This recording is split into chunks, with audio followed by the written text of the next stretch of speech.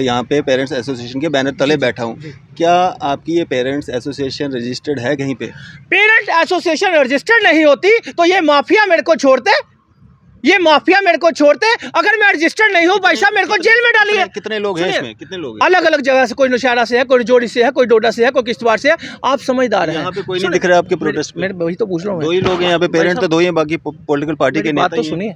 देखिए अब मुझे एक चीज़ बताइए। आपकी सारी बातें सही हैं मैं लेकिन लोग आपके साथ क्यों नहीं है? सुनिए सारी पेरेंट एसोसिएशन आने वाली है तीन चार लोग आएँगे सभी इकट्ठे तो आ नहीं सकते और हर प्रोटेस्ट में वो आ रहे हैं तीन तीन चार चार लोग आ रहे हैं किसी ने चेक करना है जब मर्ज़ी का चेक कर लीजिए मेरे व्हाट्सएप पे लाखों रजिस्ट्रार संख्या में पेरेंट्स हैं और हाँ, आ रहे हैं तीन तीन चार नहीं, नहीं पेरेंट्स नहीं आ सकता। पेरेंट्स क्यों नहीं आ सकता? मैं पेरेंट्स की मजबूरी समझ रहा हूँ। पेरेंट्स की मजबूरी है आप भी पेरेंट्स हैं। आप अपने बच्चे के लिए आप भी डरते होंगे कि मैं जेके वही तो बोल रहा हूँ आपकी सारी बातें सही हैं लेकिन लोग आपके साथ जुड़ नहीं रहे हैं। देखिए मैं आपको बताऊँ कि ये कोई मैं चाहता तो यहाँ पचास बंदे अपने ही मोहल्ले के जैसे हम पॉलिटिकल पार्टीज़ का प्रोटेस्ट करते हैं पचास बंदे अपने अपने ले आते हैं तो मैं पचास बंदे अपने मोहल्ले के बिठा देता। अभी भी तो आपकी पार्टी के ही लोग हैं। सर पार्टी मैंने सबकी पार्टियों को इनवाइट किया था मैंने आपकी पार्टी कोई नहीं आया कोई नहीं। सर आए कैसे? ये वही आएँगे तीन दिन में जो ईमानदार लीडर होंगे जो समाज सेवक होंगे जो जो एजुकेशन माफिया के खिलाफ होंगे जो स्कूलों में जाके रिबन नहीं काटते होंगे जो स्कूलों के साथ रिश्ते नहीं निभाते होंगे जो स्कूलों में अपने बच्चे फ्री नहीं पढ़ाते होंगे जो स्कूलों से फंड्स नहीं लेते होंगे। वही आ सकते हैं ईमानदार आदमी कोई नहीं बेईमान आदमी कोई नहीं आ सकता। मतलब जो आपके साथ नहीं जुड़ेगा वो बेईमान मेरे साथ नहीं ना ना ना ना। ये मेरे साथ जुड़ने का मुद्दा नहीं है। मैंने ये बात कही कि एजुकेशन माफिया के खिलाफ खड़े हो जाइए इकट्ठे आइए। आप लोग बोलिए मैं आपके पीछे खड़ा रहूँगा। पेरेंट्स एसोसिएशन के प्रधान अमित कपूर जी आज से यहाँ पे प्रोटेस्ट पे बैठे हुए हैं और इनके साथ कुछ लोग भी यहाँ पे मौजूद हैं। आम आदमी पार्टी के नेता भी हैं और कुछ पेरेंट्स भी हैं। पहले हम पेरेंट्स से ही बात करेंगे। सर क्या नाम है आपका? मेरा नाम नरेश है। नरेश भाई कहाँ से हैं आप? मैं नुशहरा से। नौशहर से। आप क्यों आए हैं यहाँ पे? यही प्रोटेक्ट के लिए आए थे कि जो अभी गवर्नमेंट ने रूल तो निकाल दिए पॉलिसियाँ तो निकाल दी भाई ये होगा ऐसे होगा वैसे होगा। लेकिन अभी तक? जिस तरह पॉलिसी निकाल दी कि भाई बैग के बेट के लिए। हम्म, स्कूल में कोई बुक नहीं बेच सकता कोई यूनिफॉर्म नहीं बेच सकता। और उसके बाद जो फ़ीस फिक्सिंग कमेटी की फ़ीस फिक्स हुई है हम्म, वो लागू की जाए। हम्म, लेकिन कोई भी स्कूल फ़ीस फिक्सिंग को नहीं मान रहा। हम्म। वो कह रहे हैं हमारे हमें स्कूल मान रहा है जहाँ पे आपके नहीं नहीं मान रहा नहीं मान रहा। कितने बच्चे हैं आपके? मेरे दो बच्चे वहाँ पढ़ रहे हैं। अच्छा। लेकिन उन्होंने एडमिशन नहीं दी। फ़ीस फिक्सिंग को तो बाद में मानेंगे। पहले इस प्रोटेक्ट की वजह से मेरे को एडमिशन नहीं दे रहे। कि आप मीडिया के सामने एडमिशन नहीं दे रहे? एडमिशन आप मीडिया के सामने आए। अच्छा। हम देखते हैं कैसे एडमिशन मिलेगी आपको। कौन से स्कूल की बात? क्राइस्ट स्कूल नौशहरा की। अच्छा। अभी तक मुझे उन्होंने एडमिशन नहीं दी। बच्चों को एडमिशन नहीं बच्चे घर बैठे हुए हैं। वहीं पे प्रोटेस्ट करवाया था हाँ अमित अमितपुर जी गए हुए थे वहाँ पे। तो बाद में वहाँ पे बहुत सारे पेरेंट्स आए थे जो स्कूल के हक में बोल रहे थे। पेरेंट्स नहीं थे वो। वो मतलब यूनिफॉर्म माफिया था। अच्छा। जो यूनिफॉर्म माफिया और स्कूल टीचर के हस्बैंड आए हुए थे। और कुछ म्यूनसिपल कमेटी के एक वाइस चेयरमैन अच्छा। उनको पता ही नहीं था पूरा क्या था। उनके बच्चे स्कूल में नहीं पढ़ते। बच्चे तो पढ़ रहे होंगे लेकिन वो स्कूल के फेवर में आए थे ना। उनको बुलाया गया था स्कूल में आओ। हम्म। दूसरे दिन उन्होंने गेट खोल दिया। पहले दिन हमें बोला गया कि स्कूल डिस्टर्ब होगी क्लासें डिस्टर्ब होंगी। लेकिन जब दूसरे दिन उन्होंने बीस तीस बंदे बुलाए प्रिंसिपल के ऑफ़िस में मीडिया जाती है सारी दस पंद्रह मीडिया वाले। और मीडिया भी वहाँ पे बहुत बड़ा ड्रामा किया उन्होंने। हमारी बाइट सिर्फ़ दो मिनट की भी नहीं हुई हुई होगी। पूरा साढ़े तीन घंटे हम गेट पे बैठे। दो मिनट या तीन मिनट से ऊपर किसी ने नहीं चलाया। लेकिन उस दिन मीडिया ने तेईस मिनट चौबीस मिनट का सिर्फ़ इंटरव्यू कवर किया उन्होंने। तो उसके नीचे कमेंट जो पड़े उनको वही वही जान सकते हैं क्या क्या लिखा उन्होंने जो उन्होंने बयान दिए। एएसपी साहब सामने खड़े हैं। हमें बोला जा रहा है कि आपने पत्थर चलाए वहाँ पे। हम्म, इतनी बातें तक होगी पत्थर मारे उन्होंने ये किया वो किया जो स्कूल फेवर में आए हुए थे। हम्म। बहुत बयान दिए उन्होंने लेकिन कुछ मतलब उनको मिला नहीं। कुछ नहीं किया था जो वो जो एएसपी इल्ज़ाम साहब हाँ झूठे इल्ज़ाम एएसपी साहब उधर थे डी एस पी साहब एस एच ओ साहब दो साहब इंस्पेक्टर थे। हम्म, सारे पुलिस वहाँ थी। हम्म। लेकिन गलत इल्ज़ाम लगाए उन्होंने हमने कुछ नहीं किया। हमने लगता है प्रोटेस्ट पे बैठने से आपके बच्चों को जो है एडमिशन मिल जाएगी? बहुत मुश्किल है। हम्म? बहुत मुश्किल है। अभी चांसेस कम ही हैं। चांसेस कम है कम ही राहुल। राहुल भाई कहाँ से आए? हम तो हम पार्टी से रिलेटेड हैं और हम। हाँ। तो हम हम। हाँ उनके सपोर्ट में आए और हम चाहते हैं कि बच्चों का जो है भविष्य जो है उज्जवल हो इसलिए हम इसलिए इनको सपोर्ट करना है कि जो छोटे छोटे बच्चे हैं उनकी ज़िंदगी ख़राब ना हो। और ये जो माफिया है ये जो बच्चों के साथ गलत कर रहा है वो ना हो। हम इनके साथ अभी भी हैं और आगे भी इनको सपोर्ट करते रहेंगे जब तक बच्चों का कोई मसला पूरा ठीक ना हो। क्या नाम है सर आपका? मेरा नाम अशोक कुमार गुप्ता। अशोक जी कहाँ से आए आप? थोड़ा आगे। मैं सर जम्मू से हूँ जम्मू से। आपके कितने बच्चे पढ़ते हैं प्राइवेट स्कूल में? मेरा एक ही है। मगर मेरे क्या बच्चे तो बच्चे ही होते हैं चाहे मेरे हों किसी के हो बच्चे बच्चे ही होते हैं सर। तो हम तो एलजी साहब से यही चाहते हैं कि साथ भी कुछ गलत हो रहा होगा ना तभी आप यहाँ पे आए हैं? नहीं गलत तो सभी के साथ हो रहा है मेरे साथ क्या होगा सभी के साथ होगा। तो गलत होना नहीं चाहिए ना सब पेरे बच्चे तो गलत हो रहे है? ये जे के एफ़ एस सी को अप्रूवल नहीं लिया है किसी ने किसी का किताबों के हाँ। स्कूल ने नहीं लिया है? काफ़ी स्कूल है सर किस किस का नाम बताओ? बताओ। एक नवयू स्कूल है उसका भी जे के एफ़ एस सी को अप्रूवल है? नहीं ये शिवनगर में है। और? और भी काफ़ी सारे स्कूल है जिनके पास अप्रूवल ही नहीं है। हम्म, फिर भी चल रहे हैं? हाँ। और क्या हो रहा है? और तो आपके सामने ये यूनिफॉर्म का हो गया किताबों का हो गया एन की किताबें लगानी चाहिए वो लगाई नहीं अभी तक। हम्म, तो चार साल से प्रोटेस्ट पे हैं अमित कपूर जी कब से बोल रहे हैं चार साल से चल रहे हैं कंटिन्यू तो अभी तक तो सरकार जाग नहीं रही है। क्या पता कब जागे। तो आप कब तक यहाँ पे प्रोटेस्ट पे रहेंगे इनके साथ? देखो सर जब तक बैठ सकते हैं तो बैठेंगे। आप भी यहाँ पे स्पोर्ट में आए बिल्कुल। हम तो पार्टी की तरफ़ से क्योंकि आम आदमी पार्टी का शिक्षा को लेकर एक ऑलरेडी एक ऐसा इनकलाब लाया है जहाँ पे डोनाल्ड ट्रंप की पत्नी जब हिंदुस्तान आती हैं तो उन्होंने आम आदमी पार्टी के शिक्षा मॉडल की प्रशंसा की है। तो आज पेरेंट एसोसिएशन जो अमित कपूर जी लड़ाई लड़ रहे हैं हम इनका पूरा सपोर्ट करते हैं समर्थन करते हैं। तो आपकी पार्टी से ही है। हमारी पार्टी से हैं आपने पहले ही बोल दिया अमित कपूर जी हमारे जम्मू प्रोविंस के वाइस प्रेसिडेंट हैं। ये आज से नहीं बल्कि कई सालों से इस लड़ाई को लड़ रहे हैं और काफ़ी हद तक इन्हें सफलता भी मिली है। लेकिन फिर भी आज एक जिस तरह लैंड माफिया है ल्यूकर माफिया है उसी तरह से एक प्राइवेट स्कूल का माफिया है। जो बाहर तो बिल्कुल सफ़ेद कपड़ों में है, लेकिन अंदर उनके जो कारनामे हैं, वो आपके सामने बड़े सारे स्कूल्स ऐसे हैं, जो फ़ीस का अप्रूवल लिए बिना, कमेटी भी बनी है जिस तरह से इन्होंने कोर्ट का भी दिखाया।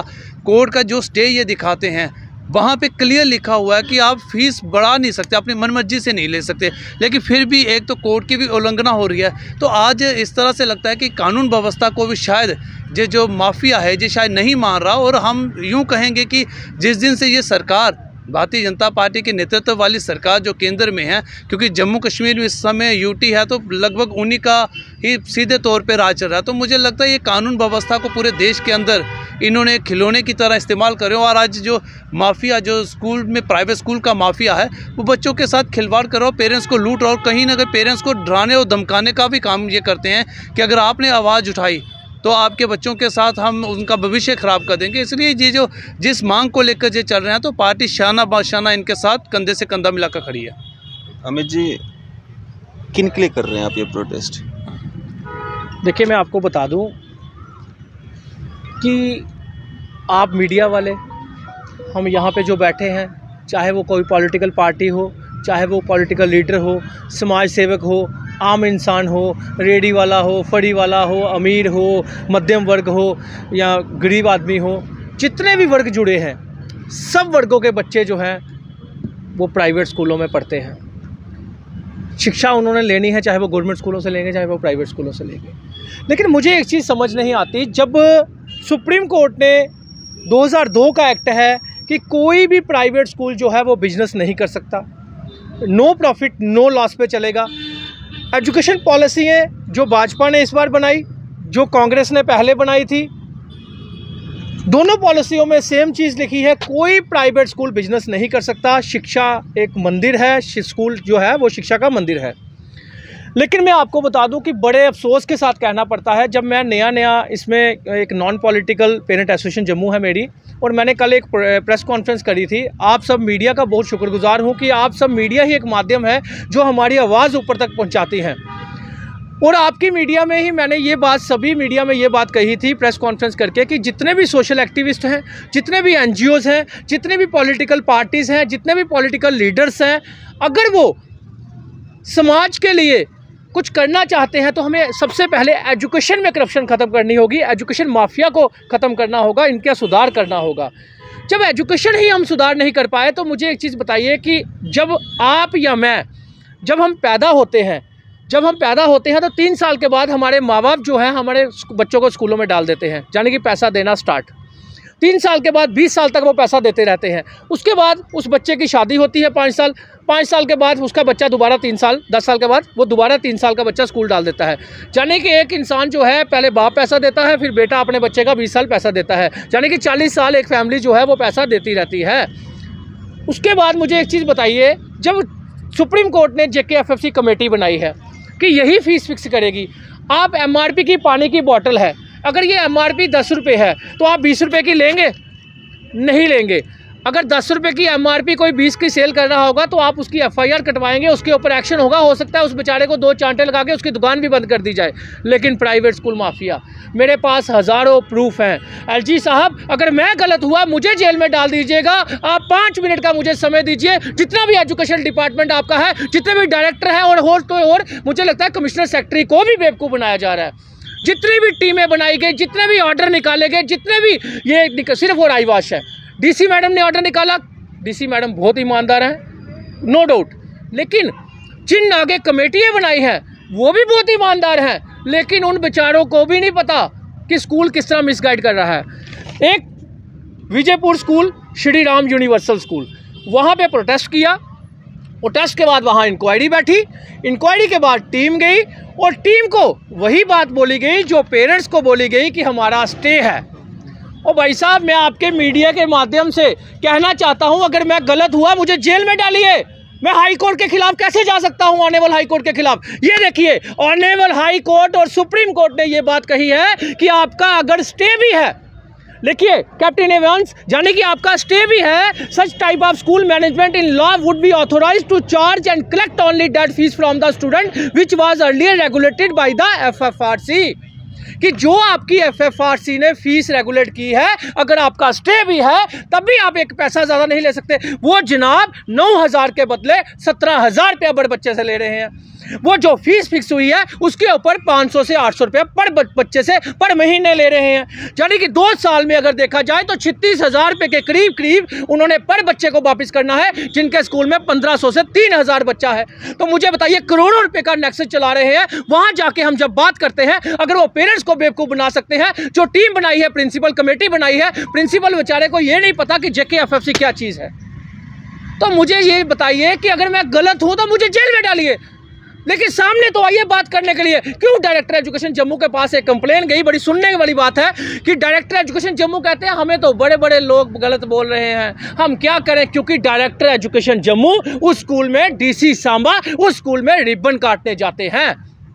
तो ये हालात इन लोगों के हैं, जितने भी लीडर माफिया है, अगर सही लीडर होंगे तो वो यहाँ पे आएँगे, क्योंकि मैं एक नॉन पॉलिटिकल बनकर यहाँ बैठा हूँ पेरेंट एसोसिएशन जम्मू की तरफ़ से, और मैंने सभी पार्टियों को इन्वाइट किया था, जिस तरह ये लोग आए हैं, उस तरह मैंने बीजेपी को, कांग्रेस को एनसी को पीडीपी को, आम आदमी पार्टी को, अपनी पार्टी को, जितनी भी पार्टी है, जितने भी सोशल एक्टिविस्ट है, मैंने सबको ये बोला कि इस लड़ाई में इकट्ठे हो जाइए, ये लड़ाई जो है, आपके घर के, आपके बच्चे की लड़ाई है।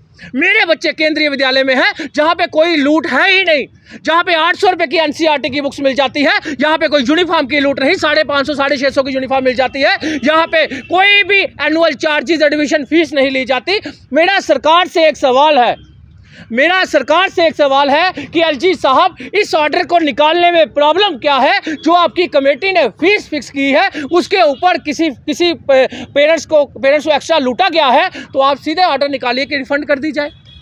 जो बुक्स आपने निकाला, आपने बोला यू के तक कोई स्कूल, बच्चा जो है वो बैग स्कूल में नहीं लेगा जब तीन बुक्स लगनी है और आपने एट्थ क्लास तक ट्वेल्थ क्लास तक सब्जेक्ट बता दी है, इतने सब्जेक्ट लगने हैं तो आपने पंद्रह पंद्रह, बीस बीस बुक्स जिन स्कूलों ने लगवा दी है, वो वापस क्यों नहीं करवाई जा रही? अभी भी स्कूल जो है बारह बारह सौ रुपया से लेकर अठारह अठारह सौ, तीन तीन हज़ार रुपया स्मार्ट क्लासेस का ले रहा है, एक पैसा भी अप्रूवल नहीं हुआ। मैं कितने स्कूलों के नाम बताऊँ जिन स्कूलों ने सेंशिया इंटरनेशनल स्कूल बन तालाब जिसने स्कूल में बुक सेल की और डबल एनुअल चार्जेस पेरेंट से लिया फ़ीस भी एक्स्ट्रा ली, लेकिन अभी तक कोई भी नहीं। एक पेरेंट जो जागा, उसने उन्नीस हज़ार रुपया वापिस लिया। एक पेरेंट जाग गया, उसने अपने अपने हस्बैंड की जो मेहनत की कमाई थी, वो मेहनत की कमाई उसने बोलकर, उसको थोड़ा सा बताया, उसने सब कुछ अप्रूव जो अवेयर हुआ, वो उन्नीस हज़ार रुपया वापस मिला। माउंट लिटेरा जी स्कूल तालाब तिलो बोड़ी, जो बीस हज़ार पे, सत्रह हज़ार से बीस हज़ार पे एनुअल चार्जेस ले रहा था, आज यहाँ पे पता कर लीजिए, जब मैंने वीडियो बनाई, मैंने अवेयर किया तो आज आठ, साढ़े आठ हज़ार रुपये पे आ गया है। लेकिन जो पिछला लूटा हुआ पैसा है, वो कौन वापिस करवाएगा? नाइन्थ टेंथ सुनिए सुनिए। आपकी सारी बातें आपकी सारी बातें सही हैं। आपने पहले ही कह दिया कि मैं नॉन पॉलिटिकल मतलब यहाँ पे पेरेंट्स एसोसिएशन के बैनर तले बैठा हूँ। क्या आपकी ये पेरेंट्स एसोसिएशन रजिस्टर्ड है कहीं पे? पेरेंट एसोसिएशन रजिस्टर्ड नहीं होती तो ये माफिया मेरे को छोड़ते? ये माफिया मेरे को छोड़ते अगर मैं रजिस्टर्ड नहीं हूँ भाई साहब मेरे को जेल में डालिए। कितने- लोग हैं इसमें? कितने लोग हैं? अलग अलग जगह से कोई नौशहरा से है कोई जोड़ी से है कोई डोडा से है कोई किश्तवाड़ से है आप समझदार हैं। यहाँ पे कोई नहीं दिख रहा है आपके प्रोटेस्ट में वही तो पूछ रहा हूँ दो ही लोग हैं यहाँ पे पेरेंट तो दो ही हैं बाकी पॉलिटिकल पार्टी के बात नेता तो सुनिए देखिए अब मुझे एक चीज़ बताइए। आपकी सारी बातें सही हैं मैं लेकिन लोग आपके साथ क्यों नहीं है? सुनिए सारी पेरेंट एसोसिएशन आने वाली है तीन चार लोग आएँगे सभी इकट्ठे तो आ नहीं सकते और हर प्रोटेस्ट में वो आ रहे हैं तीन तीन चार चार लोग आ रहे हैं किसी ने चेक करना है जब मर्ज़ी का अगर चेक कर लीजिए मेरे व्हाट्सएप पे लाखों रजिस्ट्रार संख्या में पेरेंट्स हैं और हाँ, आ रहे तीन तीन चार नहीं, नहीं पेरेंट्स नहीं आ सकता। पेरेंट्स क्यों नहीं आ सकता? मैं पेरेंट्स की मजबूरी समझ रहा हूँ। पेरेंट्स की मजबूरी है आप भी पेरेंट्स हैं। आप अपने बच्चे के लिए आप भी डरते होंगे कि मैं सामने आऊँगा तो जिस तरह ये ये पेरेंट्स ये बेचारा नशहरा से उठ के आया है लेकिन एक पेरेंट्स आया है। आप देख रहे हैं बीस बीस चालीस चालीस पेरेंट्स अगर स्कूल में इकट्ठे होते हैं तो उनको क्या कर दिया जाता है? उनको डराया जाता है धमकाया जाता है उनके बच्चे के एडमिशन के लिए कुछ किया जाता है। जिस तरह इस पेरेंट्स को ब्लैकमेल किया जा रहा है। अब आप बताइए, जिस तरह ये देखिए, घर में बैठकर पेरेंट्स बेचारे पोस्टर बना के भेज रहे हैं कि, सर, हम सामने नहीं आ सकते। सर, हम सामने नहीं आ सकते। लेकिन हमें हमारी मजबूरी है। हम सामने नहीं आ सकते, लेकिन हम लोग घर में बैठकर ये एक गुहार लगा सकते हैं एलजी साहब, ये माफिया ख़त्म कीजिए। ये देखिए। ये देख लीजिए। बहुत सारे लोग तो ये भी कहते हैं कि आपने पेरेंट्स एसोसिएशन बनाई इसीलिए थी कि आप सियासत में आ सको। सियासत आपकी चली नहीं सियासत आपकी चली नहीं तो आगे फिर से पेरेंट्स एसोसिएशन में मुझे एक चीज़ बताइए अगर कोई सियासत में भी आ गया अगर कोई सियासत भी करता है तो क्या पॉलिटिक्स गलत चीज़ है? आप आप क्या चाहते हैं? आप आप क्या चाहते हैं। कि पॉलिटिशियन वो कुछ नहीं चाहता हूँ सर लोगों के सवाल है मैं वो तो आपसे पूछ रहा हूँ। पॉलिटिशियन जो है अगर कोई अच्छी एजुकेशन के ऊपर अच्छे एजुकेशन का सुधार के ऊपर लोगों का भले के लिए अगर पॉलिटिक्स में वो आता है तो मेरे हिसाब से गलत नहीं है। लेकिन रही बात की मैं आज भी आज भी non political parent association Jammu की तरफ़ से लड़ रहा हूँ और मैंने सभी पॉलिटिकल पार्टियों को इन्वाइट किया था सभी मीडिया कर्मियों को इन्वाइट किया था सभी समाज सेवकों को इन्वाइट किया था और यहाँ पे जो जो लोग आए हैं वो उनका वेलकम है। अब देखते हैं तीन दिन कौन कौन आता है। कोई एक इंसान। लेकिन लोग जानना चाहते हैं ना जो नाम और फेम आप पाना चाहते थे आम आदमी पार्टी से वो आपको मिला नहीं इसलिए आप वापस आ गए। मेरी बात सुनिए। पेरेंट एसोसिएशन जम्मू बंद ही किसने की? शायद आपने मीडिया भी स्टार्ट नहीं की थी तो उस टाइम से मैंने ये पेरेंट एसोसिएशन स्टार्ट की थी। सामने सुनिए, हुई है, हाँ पेरेंट एसोसिएशन स्टार्ट की थी। शायद उस टाइम भी साल हो गए? उस टाइम भी मेरे पाँच साल हो गए हैं। मेरे तो, भी पाँच साल तो बस फिर समझदार हैं। फिर अगर फिर आप लोगों को नहीं पता तो फिर किसी को नहीं पता। हम लोग आपके बच्चों के लिए लोगों के सवाल है मेरे सवाल नहीं सर मैं उन्हीं लोगों को जवाब दे रहा हूँ। और आप लोगों के बच्चों के लिए हम लड़ रहे हैं। एक स्कूल एक स्कूल, एक डायरेक्टर, एक बड़ा ऑफिसर मेरे सामने आके मुझे झूठा साबित कर दे। मान ले मैं तो कहता हूँ, आपके मीडिया के माध्यम से मैं डिबेट रखने को तैयार हूँ। कोई भी बुला लीजिए डायरेक्टर एजुकेशन, मैं हज़ारों प्रूफ देने को तैयार हूँ। एक भी प्रूफ में अगर मैं गलत निकलता हूँ तो मुझे जेल में डालिए। नहीं तो इन एक काम कीजिए ना, कभी डायरेक्टर के पास जाके भी सवाल कीजिए। डायरेक्टर आप लोगों को एंटर भी नहीं करने देगा अंदर। क्यों नहीं करने देगा? क्योंकि उसको पता है कि वो खुद वो चोर है। क्योंकि उनको पता है मीडिया ईमानदार है, मीडिया सवाल पूछेगी। वो पता किन मीडिया को बुलाते हैं? जो मीडिया सवाल नहीं करेगी, उन लोगों को अंदर बुलाया जाता है, लेकिन ईमानदार मीडिया को कभी नहीं बुलाया जाता। यही तो प्रॉब्लम है। कभी भी डायरेक्टर जाएगा, दो मीडिया को सवाल देगा। दो मीडिया, बाकी मीडिया को बोलेगा, साइड पर हो क्यों? क्योंकि बाकी मीडिया कहीं ईमानदारी से सवाल ना पूछ ले। जर्नलिज्म काम ही यही है। आप लोग बड़ी ईमानदारी से कर रहे हैं, क्योंकि आप सवाल पूछ रहे हैं और ये जनता के सवाल होते हैं। तो यही मैं चाहता हूँ कि डायरेक्टर एजुकेशन जम्मू कहीं पे भी मेरे पास आ जाए डिबेट के लिए। मुझे बुला ले। एलजी साहब, पाँच मिनट दीजिए, पाँच मिनट। हज़ारों लाखों प्रूफ इस प्राइवेट स्कूल माफिया के खिलाफ दे दूँगा। जब दस रुपये एम है तो बीस रुपये कैसे ली जा रही है? रिफंड फ़ीस का ऑर्डर क्यों नहीं? जब एक्स्ट्रा बुक्स लगाई जा रही है एनसीईआरटी का ऑर्डर है एक्स्ट्रा बुक्स लगा रही है तो वापस करने का ऑर्डर क्यों नहीं? क्यों जब पेरेंट्स लुट जाता है बुक्स का नेक्सेज चल जाता है यूनिफॉर्म का नेक्सेज चल जाता है उसके बाद ऑर्डर निकाले जाते हैं। क्यों? ऑर्डर में कमेटियाँ ऐसी बिठाई जाती है जिनको जेके एफएफसी का ही पता नहीं। प्रोटेस्ट कब तक चलेगा आपका? हम तीन दिन धरने में यहाँ बैठे हुए हैं और मैं आपके चैनल के माध्यम से सब सभी मीडिया का बहुत बहुत शुक्रिया अदा करता हूँ। एक यही आवाज़ रही है यही माध्यम रहा है हमारे पास कि हमारी आवाज़ ऊपर तक पहुँच सके। एलजी साहब आपको भी बदनाम करने की कोशिश की जा रही है। अगर आप ईमानदार हैं तो पाँच मिनट का समय दे दीजिए। आप बड़े बड़े लीडरों से तो मिल लेते हो। पाँच मिनट का समय दे दीजिए। अगर आप एजुकेशन माफिया को ख़त्म करना चाहते हो, जनता का भला करना चाहते हो, पेरेंट्स का भला करना चाहते हो, और पेरेंट्स का लूटा हुआ करोड़ों रुपया जो वापस करवाना चाहते हो, आपकी ही बनाई हुई कमेटी ने अप्रूव किया था। उसके एक्स्ट्रा जो फीसें ली हैं, जो एक्स्ट्रा बुक्स ली हैं, अगर आप ये पेरेंट्स को राहत देना चाहते हो। तो पाँच मिनट का समय दे दीजिए मैं आपको प्रूफ देने को तैयार हूँ। लोगों को इकट्ठा करने में विफल हो हो गए और पाँच साल हो गए मैं आपको बताऊँ हज़ारों लाखों फ़ोन आते हैं। मेरे आज भी फ़ोन देख लीजिए मुझे कितनी विशेष और कितनी दुआएँ मिलती हैं। मुझे दुआएँ चाहिए, दुआएँ मिल रही हैं, लेकिन मजबूरी पेरेंट्स की है। जिस तरह इस पेरेंट्स की मजबूरी है, जिस तरह ये पेरेंट्स आए हैं, यहाँ की इनकी मजबूरी है। हर एक पेरेंट्स बेचारा डरता है, ये लोग ब्लैकमेल करते हैं स्कूल वालों। स्कूल वाले जो हैं, इनको ब्लैकमेल करते हैं कि आपके बच्चे को एडमिशन नहीं दी जाएगी। अब आप समझदार हैं कि पंद्रह बच्चा होगा। अगर आप मेरे कमेंट्स पढ़ेंगे, आप अपने नीचे भी कमेंट्स पढ़ लेंगे तो आप देख लेना कि तीन सौ कमेंट्स आएँगे तो तीन सौ में से दो सौ नब्बे कमेंट क्या होंगे?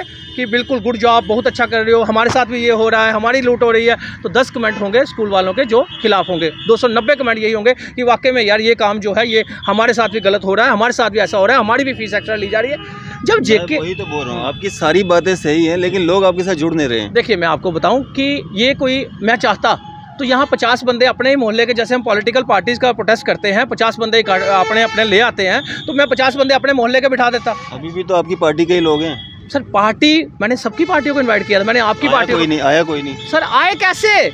ये वही आएँगे तीन दिन में जो ईमानदार लीडर होंगे, जो समाज सेवक होंगे, जो जो एजुकेशन माफिया के खिलाफ होंगे, जो स्कूलों में जाकर रिबन नहीं काटते होंगे, जो स्कूलों के साथ रिश्ते नहीं निभाते होंगे, जो स्कूलों में अपने बच्चे फ्री नहीं पढ़ाते होंगे, जो स्कूलों से फंड्स नहीं लेते होंगे, वही आ सकते हैं। ईमानदार आदमी कोई नहीं बेईमान आदमी कोई नहीं आ सकता। मतलब जो आपके साथ नहीं जुड़ेगा वो बेईमान मेरे साथ नहीं ना ना ना ना। ये मेरे साथ जुड़ने का मुद्दा नहीं है। मैंने ये बात कही कि एजुकेशन माफिया के खिलाफ खड़े हो जाइए इकट्ठे आइए। आप लोग बोलिए मैं आपके पीछे खड़ा रहूँगा। लेकिन आइए तो सही। रैना साहब ने कहा कि मैं जितने भी प्राइवेट स्कूल हैं, मैं जेल में डालूँगा, मुझे प्रूफ दीजिए। हज़ारों प्रूफ देने को तैयार हूँ। आए रैना साहब, हज़ारों प्रूफ देने को तैयार हूँ। आपके ही कॉरपोरेटर आपके ही लीडर और भी पार्टियों के लीडर जिनके स्कूल हैं, सबके प्रूफ देने को तैयार हूँ। आइए एक बार, अगर आप सच्ची में रेल में अगर आपने ये बात कही थी कि प्राइवेट स्कूल माफिया जेल में जाएगा एक प्रूफ दे दीजिए तो मैं हज़ारों प्रूफ देने को तैयार हूँ। चलिए शुक्रिया हमारे से बातचीत करने थैंक यू सर ये थे हमारे साथ पेरेंट्स एसोसिएशन के प्रेसिडेंट अमित कपूर जी जो कि यहाँ पे प्रोटेस्ट पे बैठे हैं। आपकी इस सब पे क्या राय है अभी अपनी राय जो है ज़रूर साझा कीजिएगा। इसी तरह की मजीद अपडेट्स के लिए आप देखते रहें न्यूज़ सर इंडिया। मैं अरफाज डाइंग कैमरामैन शाहनवाज के साथ।